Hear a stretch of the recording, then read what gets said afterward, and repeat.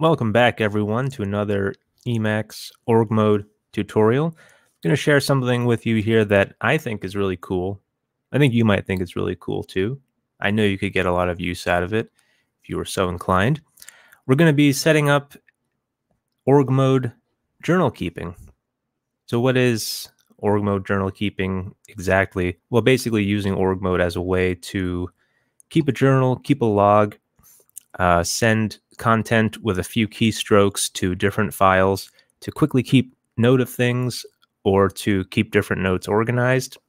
It's really a general purpose tool that you can do a lot of things with. Let's just take a look at it here. All right, so so why keep a journal in org mode? Well, as I said, it's an easy way to quickly keep a log of all different sorts of things, right? So if you are maybe a student or a writer or somebody who does a lot of uh, research. Um, for example, you could have a journal just of your reading notes. So if you're you're reading a book and you just want to keep note of some comments and keep it all organized in one file uh, with regard to what you're reading at the time, have a reading journal.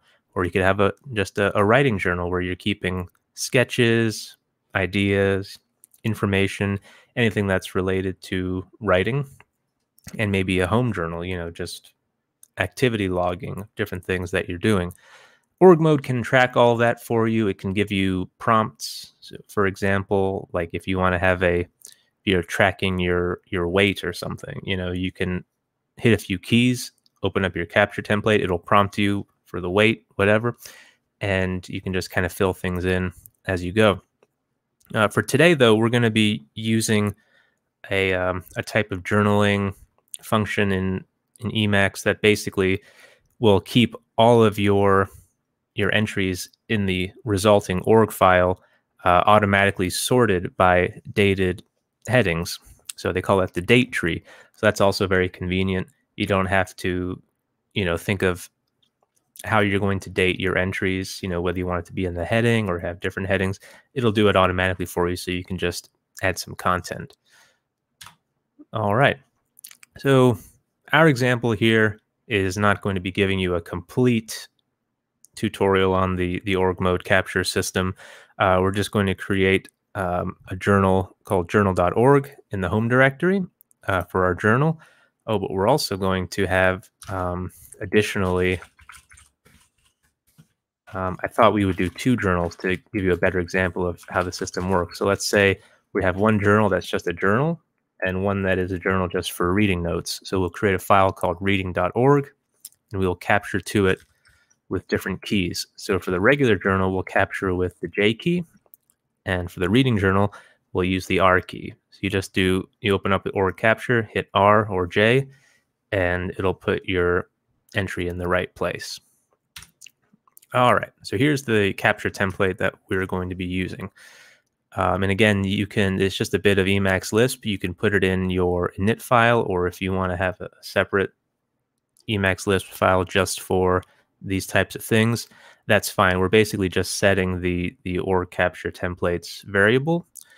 Um, you see here this, um, the order in which you, you put in these, these arguments is pretty simple. First, you put the, the key, um, and then a description of it. So J is for journal, R is for reading journal, and it's an entry in an org file. It's a, a file plus a date tree, as I mentioned. You know, we're going, it's going to keep track of the date for us, and uh, the journal goes to the home directory and a file called journal.org, and the reading journal goes uh, to the same directory to a file called reading.org.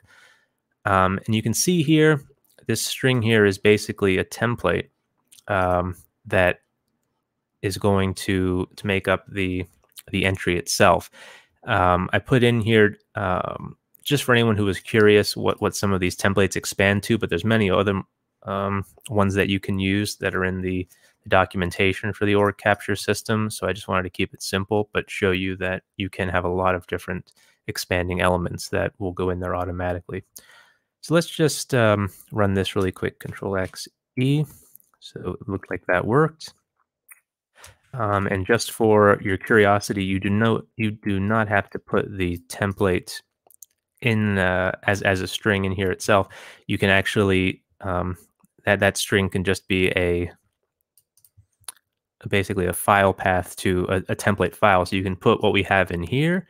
Uh, you can actually just put it into a text file, and that would allow you to have more complicated templates. I think it's it's easier to do it in the file than to try and put it all in in a line up here. But um, I just put that in there as different people have different preferences, so you can try them both out. All right, so let's go ahead and do the the org capture. Um, I have org capture mapped, I think as most people do, to Control C and then C again. So this is the little capture menu here, and it's prompting us for our template key. We set one up for journal, so let's hit J. Uh, here's a journal entry.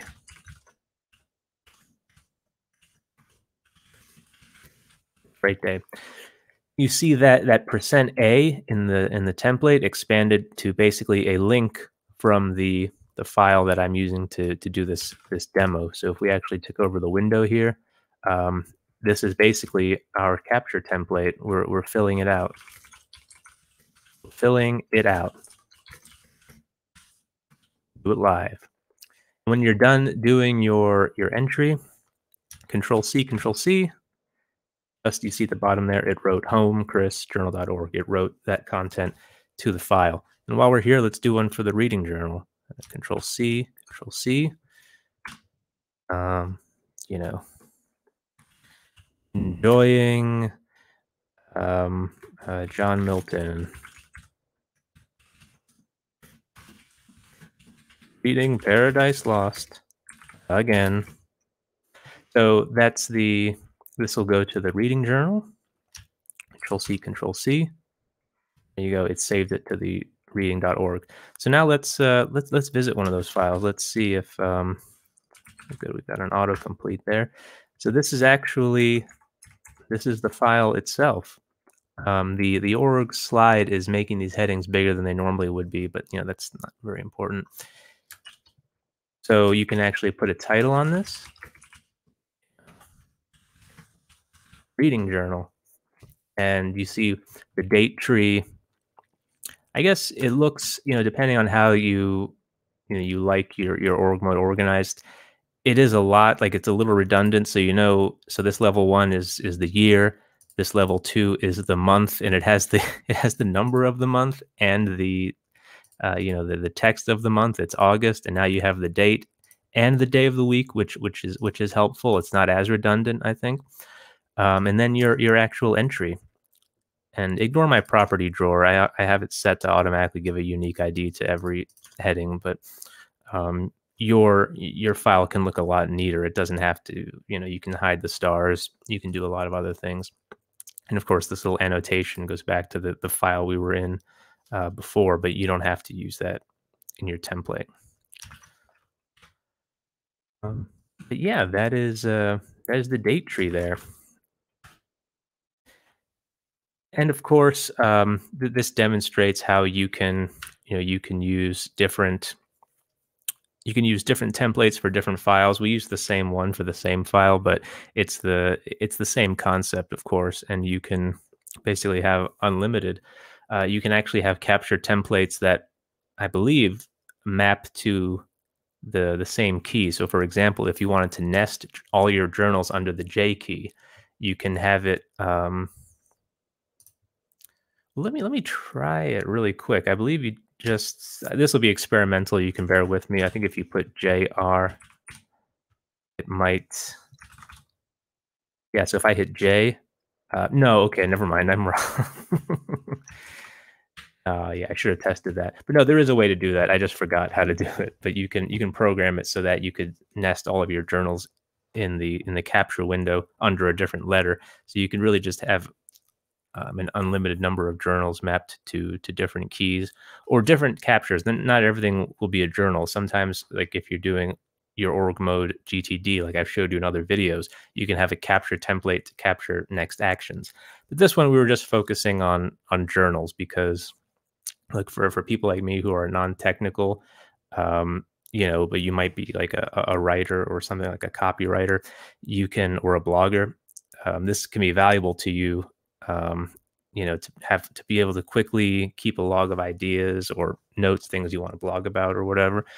Um, or like like me, I can capture different video ideas for here. So it's really helpful. But that's about it. That's how to set up a journal with org mode. So good luck. Have fun. Let me know if you have any problems. I'll see you next time.